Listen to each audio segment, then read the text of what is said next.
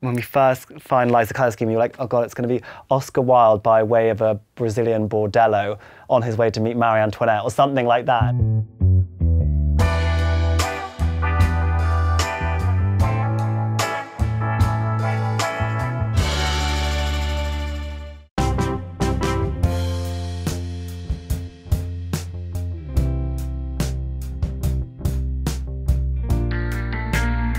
I knew I wanted to live in this area. I've loved it around here for years and I grew up just off Portobello Road.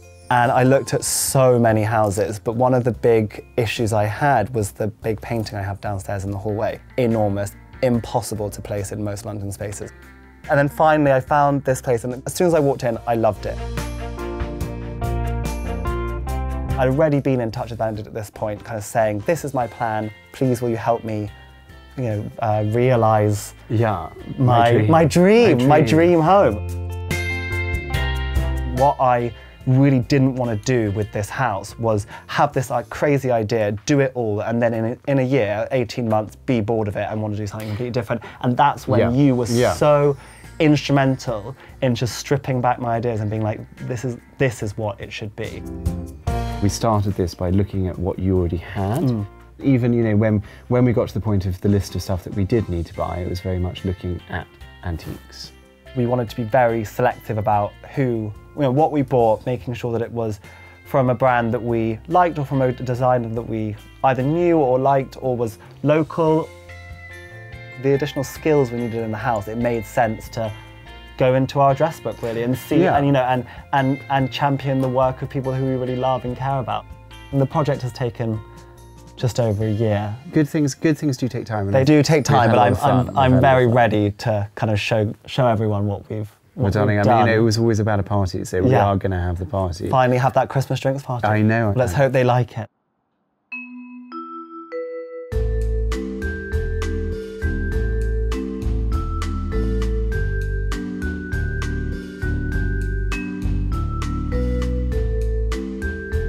It's pretty decorated in here already, but it's um, Yeah, we don't wanna It's fun just. Well, I mean, do we not want to overdo Well, it? Well, this room I think we can overdo it. Maybe we'll keep Yeah. it a bit more. This is quite camp in here. Yeah. I do. I do quite enjoy it. Really. No.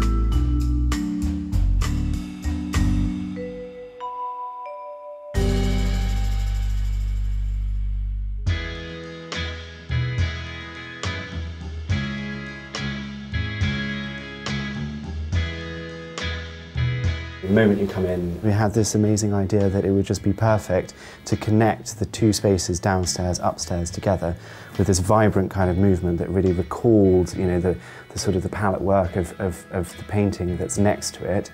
And, you know, it really is another artwork in the house.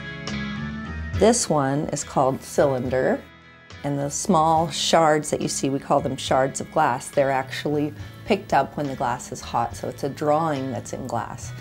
You wouldn't know that. It's very abstracted by the time it becomes a rug. being able to actually share this physically with you was such an excitement. Um, because you know, so often, you know, when something happens, it's far away, you never really get to see it, and it is really joyful. And I think, you know, It's your welcome. Yeah, it is. It is. It's the perfect welcome. So thank An you. invitation. Yeah.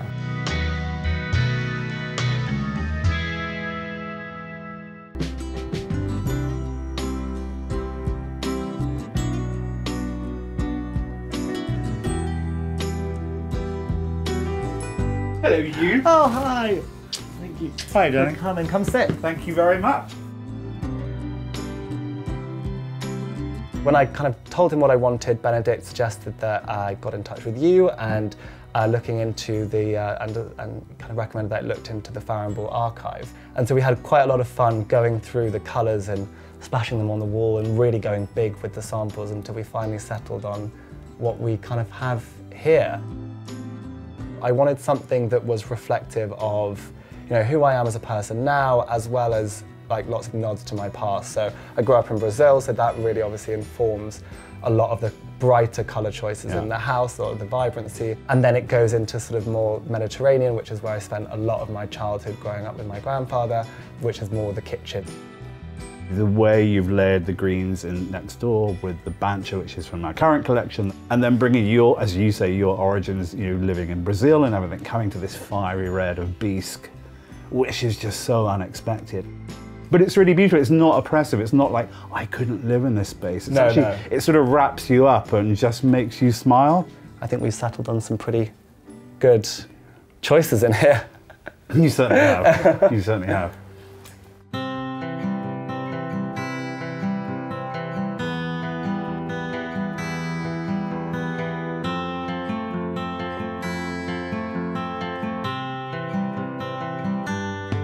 Know my name, well, Viola. Yeah, yeah, yeah. Means yeah. purple. But Well, yeah, strangely, we keep on, yeah, yeah, yeah. it's very exciting to have you in this space. This room doesn't really have a proper function in some senses. It's an attic room, it's quite low ceilinged. Because of that, sort of including your work in here was very important for me. This particular Yes. pattern here, which was created Yeah. by you, kind of using some paper and some starch, no? Yes, starch and paper. It's Yeah. like an old technique of for decorative papers. In fact, it even recalled the sort of, there's a strange kind of enormous Japanese floor vase over there which has this kind of wavy rim, which in some senses could be, yeah, could be kind of almost horrible. It's back to my love of horror charm. Um, but it, it all worked together, and then the serpentine of this table, and it's sometimes it's hard to really, I know you get it, but it's hard Get to. Get it to add movement to Exactly. a room that otherwise it's quite. It's quite, it's yeah, quite it's quite rigid with, in here. with decorative element. Exactly, and because this is the end of the house, I almost wanted people to be drawn up the staircase and into a vortex. Yes. And I love how you use the shades. The fantastic thing about your shades is that they have Yes. this sort of slightly fugitive shape because the light moves around them, so they have this movement again. Yes. And where do you find the carpet? How did you find the matching carpet? Well, I suppose so. This it wasn't really supposed to be matching, but this is actually recycled office carpet. This room, you know, everything is low in here, and the idea is that people can come in, they can sit on the sofa. There's some big floor cushions, and you can kind of sit around and play games or talk or whatever. And we've worked together on a few things, and it's always been a very, Yeah. it's always been a very productive sort of subconscious kind of conversation. Yeah, I think yeah, the great great ideas come from conversation and Yeah. interaction with Yeah. friends and other creatives. Yeah, well, that's it. You know, I mean, we spend a lot of time talking, so it's not unusual that we should find some kind of synergy in our in our work.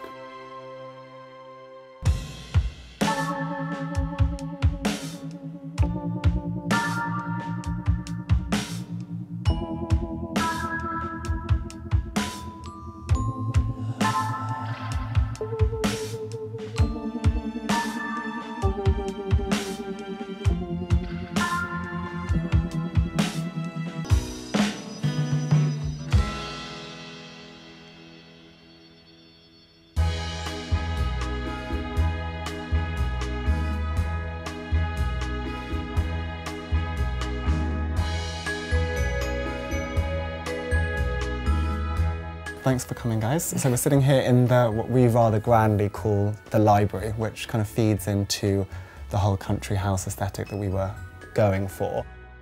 But this room came together quite quickly, actually, um, in term, compared to the rest of the house. It was something that we were very clear about what we wanted, but rather unusually, we, because there's so much going on in the room itself, we hadn't really thought about the floor and about the carpet. And it was actually the last thing that we put in was this carpet, and we weren't even sure if we were going to do one.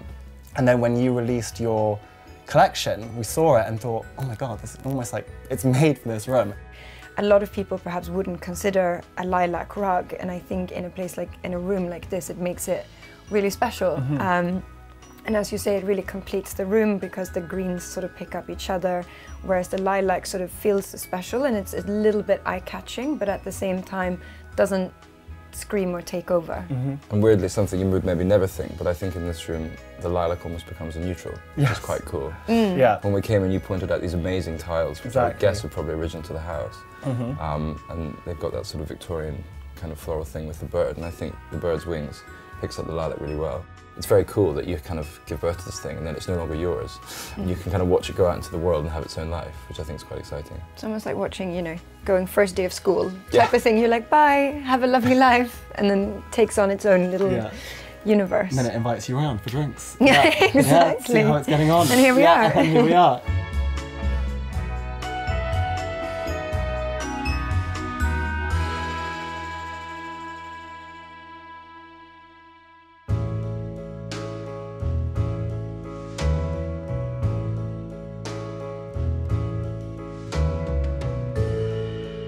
We're in the kitchen, which is definitely one of my, if not my favourite room in the house. I think one of the things I love most about it is the colour. It's definitely one of the rooms I spend the most time in, which is ironic, bearing in mind I can boil an egg and that's about it.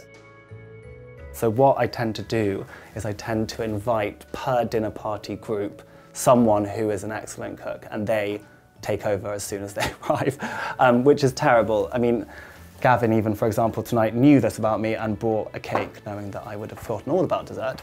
So tonight, seeing as it's a bit of a special occasion and we've got all the creatives coming, I thought I would ensure we had something edible to actually eat. So my favourite local restaurant, which is called Ida, which is around the corner actually, they're very sweetly dropping us some nice food for us to eat this evening, which will be great. Look how pretty. Look how nice these are. Thank you, darling. Happy Christmas. Happy Christmas. This is looking amazing. It's very exciting to have you in the space finally.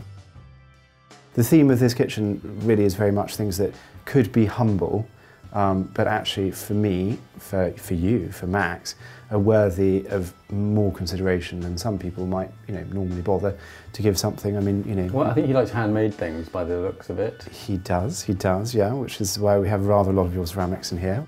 I think I showed him one plate and he just ran with it. Actually, I prefer to see them on the setting before you eat, in a way, so that you see a whole table of them. They look quite charming. You fill them with food, they're not so funny. But when they're naughty and you're eating, it's quite. I might have to actually just slightly. You could put a- slightly. Yeah, I'm going to just. you can put a do. cracker. Yeah, I'll put a cracker, a well-positioned cracker, on there. But you know, you do get the idea. They're quite nice because you can be a little bit playful and a bit naughty. I think plates can be naughty because they're such a sort of domestic, everyday, boring thing. He has a good eye, that man. He has a good eye. I think one of the really fantastic things for me about doing this project with him is that I've been able to introduce other artists and makers who I love, and Yeah. he has really connected with them. I think that is really one of the things that this whole house has been.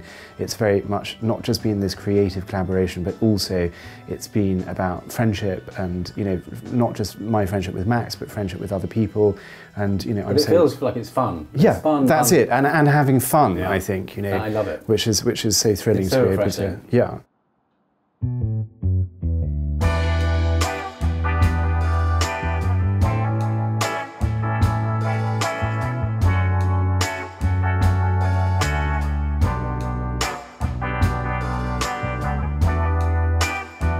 I always think with any project, one of the things that you have to do is you have to find the story.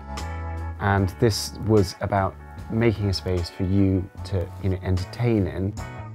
This has always been a kind of drinks party in a funny way. Yeah. One of the reasons why people just turf stuff out is because they're not really connected to things. Mm. And I've always felt that if you if you have a strong connection to something, you tend to really value it and love it for longer. If you enjoy somebody's work, you kind of really you get enthused. often, you know, they see things in a different way and they offer a fresh take and a fresh perspective, and that makes it so much more interesting and so much more fun.